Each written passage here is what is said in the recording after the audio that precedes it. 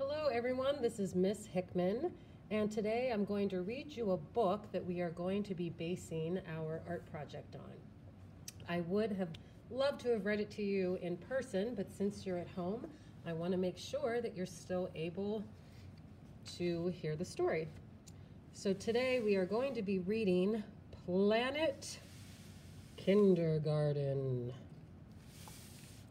This is about a little boy in the future who has to go to school on a distant planet and he has to take a rocket ship every day to school. So he's a little nervous about starting kindergarten. So here we go. 6:30 a.m. The alarm rings. Deep, deep, deep. The countdown started. Here he is marking his calendar, counting the days until he has to go to school. Doing my sit ups, reviewing my letters. Dad and I checked the plans for my next big mission. My doctor gave me two thumbs up. Mom and I got lots of supplies. You see his pencils here? Today is liftoff. I suit up. Dad helps me with my gear. What if I'm not ready? What if we crash into a comet or get sucked into a black hole? Or even worse, my lunch floats away. You are well prepared, says Dad. Into the rocket ship, the boosters fire. Blast off! I am ready to explore Planet Kindergarten. We arrive at the base camp, then orbit while we look for a place to dock. Mom slips her photo into my pocket and squeezes my hand. I don't want her to worry, so I stand tall.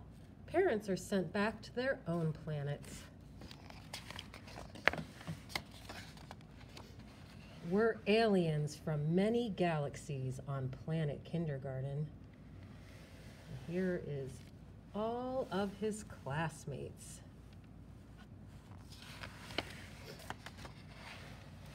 His teacher sits at the desk and look at all the apples that she has. Our commander tells us our flight plan for the day. Mission control calls in on the intercom. They welcome us on our journey. I try to get used to the new atmosphere, but it's not like home. For one thing, gravity works differently here. We have to try hard to stay in our seats, and our hands go up a lot.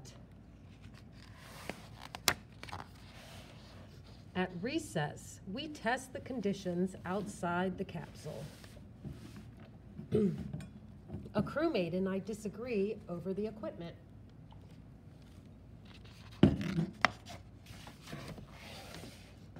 We have to sit in isolation, and I learned that isolation isn't any fun.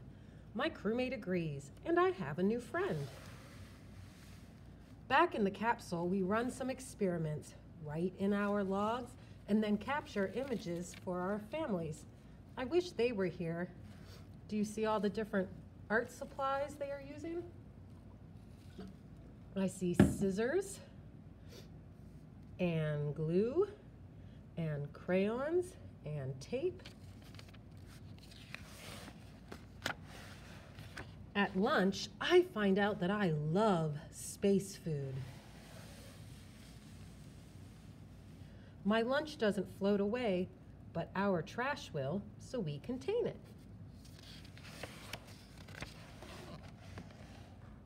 The commander says that space exploration makes you tired, and we have to rest. I'm too excited to sleep, so I count stars. In the quiet and the dark, I get really homesick. Is the room running out of oxygen? Abort mission, I think. You can't do this. Get out of here.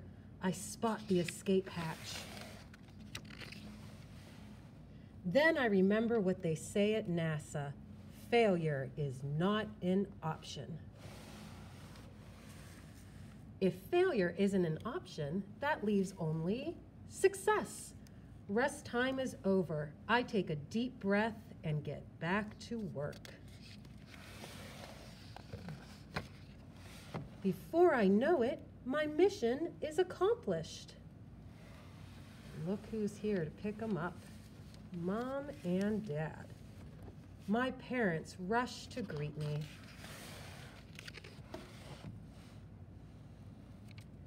Then it's splashdown. I am back on my home planet. And he's getting clean for the next day. Mom and Dad are proud. Me too, because they were brave to let me go.